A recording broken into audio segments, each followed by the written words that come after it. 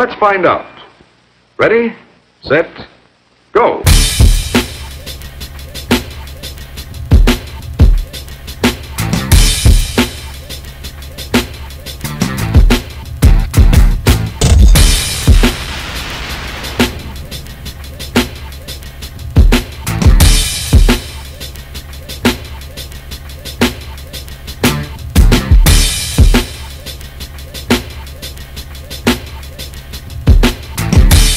Sometimes the bomb might explode without any warning.